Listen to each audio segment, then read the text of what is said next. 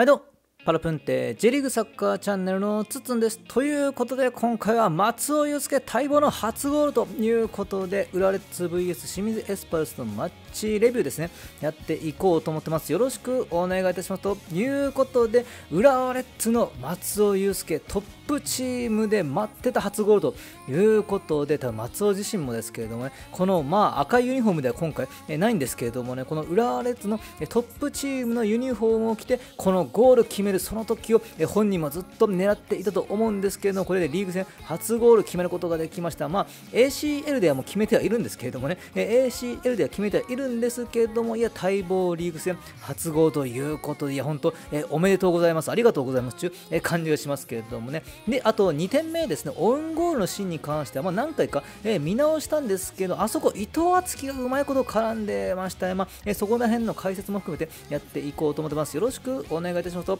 いうことでこちらはメインチャンネルでございますね、えー、サブチャンネルの方でも J リーグの話をしております。よかった、えー、動画概要欄からですね。サブチャンネルの方もよろしくお願いいたします。といういうことでまずこちら。両チームスターティングメンバーこんな形と、え、なりました。前節に続いて岩尾伊藤選手の、え、ダブルボランチですね。裏手ですね。でトップ下小泉選手が入りました。そしてこの試合左サイドハーフには、え、関根選手が入って左サイドバックには秋元選手。こんなまあスタメンで、え、ございましたがさあ試合結果はこちらでございますね。1対2、えー、浦安が勝利ということになりました、まあ、松尾選手のあのゴールシーンも、ね、良かったですね、関根のあのシュート、あそこをきっかけに決めることができたんでね、まあ、ユースの先輩、関根のこの、えー、シュートのこぼれ球、そこに松尾がしっかり、え、反応するということでね、なんかこれも、えー、ドラマじゃないですけれどもね、え、なんか僕だけですかね、え、考えすぎでしょうかね、え、感じるものがありましたね、そしてあと清水はなんかね、すごいの決めましたね、山原選手ですね、この間、ね、サブチャンネルで、え、なんか今年で今後注目の、え、選手として山原の名前上げていたんですけど、えー、まさかこんなに早く、えー、僕の動画にアンサーをしてくれたって感じが、えー、してますけれどそんな答えの返し方は、え、いらんちゅう話でございますけれどもね、いや、本当、えー、素晴らしい声でございましたけれどもね、はい。そして前半レビューということで、この試合見ていくとですけれどもね、まあ、前半良かったのは僕、小泉非常に良かったんじゃないかと思っていてですけれどもね、この小泉の視線の先、これに結構ね、僕はビビッときましたね、しっかり酒井選手のパスですね、これ前半ね、小泉選手の浮き球のパスに酒井選手が反応するというシーンがあったんですけれどもね、これが結局、まあ、ゴールラインを割ってしまって、ゴールキックにはなります。小泉選手のパスはまあこれ外れてしまって、ゴールキックにはなるんですけれども、小泉は冷静にやっぱり、えー、周りを見ることができている結構これ、まあ、これまでの小泉選手ほど、えー、苦しんできたんですけれども、なかなか、えー、今年苦しんできた、えー、小泉選手でございますけど、あそこしっかり酒井選手の、えー、立ち位置見てんだ中心が1回あってですね、それ本当良かったなという感じが、えー、しておりますし、この試合何本か、えー、スルーパスを通したシーンとか、まあ、あと通ればなって、まあ、その狭いところをしっかり、えー、通すことができればなっていうのは何回かあったんで、この小泉選手の、えー、視線の先、これが結構やっぱチャンスシーンに、えー、つながりそうな時が、えー、ありました。なんかこれ、チャンスになりそう、小泉選手はしっかり、え味方がチャンスになりそうなところをしっかり見ることができているっていう話なんで、これは小泉選手の少なくとも頭の中はですね、頭の中は結構クリアになっているんじゃないか、本当余計なことを、えごちゃごちゃと考えすぎないで、えプレーすることができていると思うんで、この小泉選手の、え視線の先、そこにはしっかりチャンスがあったんで、しかもそこにしっかりパスを出すことができたので、これはやっぱ今後、え期待ができるんじゃないかと思っておりますけれどもね。で清水えー、清水に関してはですけれどもね、やっぱ白崎選手、え神谷選手がしっかりチャンスを作ってましたね。まあ、ちょっと清水エスパルスも現在チーム、えー、再構築中ということでなかなか難しい時期であると思うんですけれどもね。しかしまあやっぱりこれサンタナ選手が、えー、ボールを収めてそこからまあチャンスになるシーンもあったりとかしたんであとカルリノス・ジュニオ選手ですね、まあ、そこをきっかけに今清水を押し込むシーンあったんですけど、まあ、やっぱだから西川選手が前半2本ぐらいですかね立て続けに、えー、セービングしましたね。好セーブ見せたんであそこでやっぱゴールキーパーの西川西川選手を、きっかけにリズムを作ることが、えー、できたんじゃないかと思っているんで割とこの試合のね試合結果に関しては前半の西川選手の、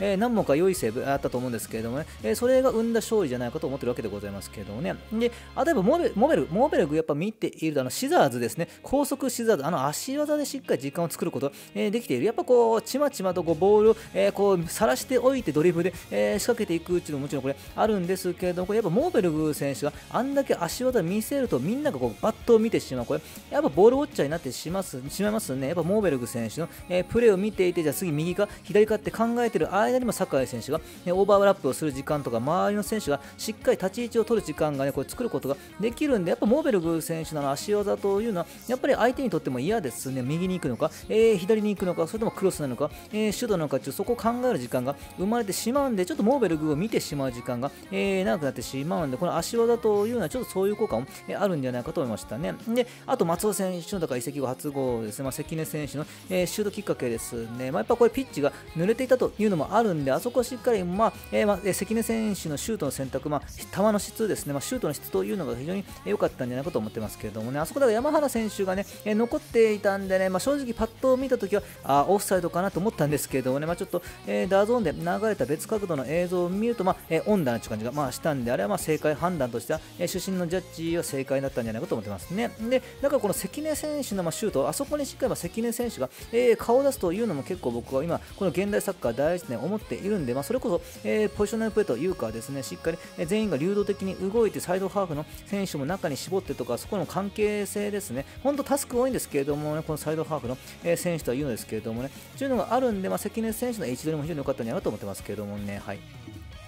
そして後半レビューということで、まあ、前半よりもですけれどもね、モベルグ選手、立ち位置ちょっと変わってましたね、まあえー、中に絞るシーンが多かったです。で、えー、ビルドアップですかね、まあ、一旦これ、裏列が後ろでボール回して、しっかりビルドアップして、清水の選手を引き寄せておいて、そこからまあ一旦ひっくり返して、まあ、相手を剥がしてチャンスを、えー、作ったシーンがあったと思います。あそこもしっかりだからね、えー、モベルグ選手が最後中に詰めて、クロスに対して反応して足伸ばすんだけど、その足が届かず中心があったんですけど、ああいうね、チーム全体として相手を引き寄せておいて、えそこからひっくり返してチャンスを作る、まあ、そこはやっぱモベルグ選手みたいに、えこの縦、中への意識が強い選手がやっぱりいると効果的だよねっていうのがやっぱりある最後のフィニッシュのところですね。あそこだからモベルグ選手が外で受けようとするんじゃなくて、え中にしっかりこれポジション取っていたのは結構大きかったと思うなのでこの疑似カウンターというかですね、相手を1枚剥がしておいてそこから、え一気にチャンスを作るみたいなカウンターですの疑似カウンターの、えシーンというのは、やっぱこう走れる選手、え縦への意識が強いモーベルグ選手がいると、まあ、そういうチャンスシーンは、え増えてくるんじゃないかと思いますけどもね。ね。で、あとそのビルドアップのところですよね、その同じビルドアップのところになってきますけれどもね、前半は結構岩尾選手がサリーダの形で真ん中に、え、降りてきて、まあ、3バック作ってはいたんですけど、まあ、後半はどちらかというと岩尾選手がま出口に、え、立つ、要は2センターバック2枚で浦列がボールを、え、回していって、でこのセンターバックの、えパスを受けて岩尾選手が前を向くみたいなシーンが多かったんで、前半と比べて、まあ、岩尾選手が、えー、去り出してくる形が多かったんじゃないかと思いますけれどもね。で、え2点目、そう伊藤選手がだから生んだ2点目の、えきっかけというのはこちちらに出てきますね。まあ、図解解説って書いてるんで、こっち出すんですけれどね、えこんな感じにですね、まあ、ちょっと微妙に選手の名前とか違ってた、え申し訳ないんですけれどもね、まあ、これ、え裏列に関してですけれどで、このシーンなんですね、だからこの、まあ、ボール、場面としてはですけれどもね、え右サイドの関根選手が伊藤選手に、横パスを出して、その伊藤選手が江坂選手にまた縦パスを出す、そして、えその縦パスを受けた江坂選手のクロスに秋元選手が反応して、え最後は多分達田選手ですかね、がオンゴールをするっていうシーンになってきます。この三角形の作り方も非常に良かったですね。伊藤、関根、江坂のこの、え三角形の作り方も非常に良かったんですけど、ポイントはこの前のシーンに僕は、ね、あるんじゃないかと思っていて、この数秒前ですね、この関根選手が伊藤選手に横パスを出す数秒前、え酒井選手が少し運んだシーンがあったと思うんですけれども、ね、そのシーンでございますけれどもね、これ、え酒井選手のパスに伊藤選手が一旦反応するという、えシーンがありました。で、この酒井選手のパスに伊藤選手がしっかりボールを受け止めて、そこからま前進していこうというシーンではあったんですけれども、伊藤選手にパスが渡った瞬間、鈴木選手ですね、清水エスパルスのセンターバック、えー、鈴木選手が伊藤選手に食いついてきてしまったんですね。で、この、えー、伊藤選手に鈴木選手が食いついてしまった結果、最終ラインが少し、まあ、ずれて、えー、しまったんで、鈴木選手、センターバックの鈴木選手が、え少し飛び出してしまったばっかりに、えボランチのホナード選手が少し後ろを埋めなくなってしまったわけでございます。まあ、これやっぱ鈴木選手、センターバックの選手が飛び出してしまうと食いついて、えしまうと、まあ、ボランチの選手が下がって、ホナード選手がそのカバーリングで、まあ、センターバックの位置に入るんですけど、これでだから一つズレを作ることが、えー、できた。やっぱ現代サッカーってこうどうやって、まあ、このピッチ上にズレを作っていくかというのは結構ポイントにはなってくるんですけれどもね、この伊藤選手ですね、ボランチの伊藤選手がこの高い位置に顔を出した結果、えー、鈴木選手、相手センターバック、鈴木選手がそこに食いついてしまってズレを生むことができたんで、伊藤選手がだからここに顔を出したのが非常に大きいんじゃないか、まあ、だから本当これは相当僕は大きなプレーだと思います。まあ、特に1点リードしている、えー、段階であったんで、まあ、そんなに無理してね、これ、え高い位置をを取る必要もない、まあ、相手を押し込むとかそういう意味では、リスクを負うというのもそこもちろん大事になってくるんですけど、まあ、しかし、ね、1点リードしている段階で伊藤選手が積極的に高い位置を、えー、取る、あそこでまあ引いてしまったら本当僕は、ね、これから裏レッドのサッカーというのは先細り、えー、していくんじゃないかと思うんで、この、えー、伊藤敦樹選手がね、これやっぱ彼の特徴ですよね、この試合、えー、解説松原さんでしたかね、えー、清水ね、解説松原さんがずっとこれ伊藤選手褒めていたんですけれどもね、やっぱこの伊藤選手が、えー、ボランチの位置から少し高い位置を取ることによって相手選手選手もちょっと食いついて、え、しまってしまう、食いついてしまうというのがあるんでね、このやっぱ伊藤選手がこの高い位置に、え、顔を出した結果、相手選手、1人センターバックの選手が食いついてしまって、そこで相手のその最終ラインにずれを生むことができたんで、僕はこれはだから最終的には、まあえ、秋元選手のまきっかけでオンゴール生まれるんですけど、本当そこは江坂選手のもちろん、え、パスも素晴らしかったんですけど、その前にやっぱ伊藤選手がそこに、え、顔を出して相手センターバックを1枚追出したというのは、これは相当大きいんじゃないかと思ってるわけでございますけどもね。はい